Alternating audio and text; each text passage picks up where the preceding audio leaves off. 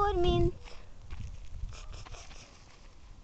Miért nem jön ide a cica?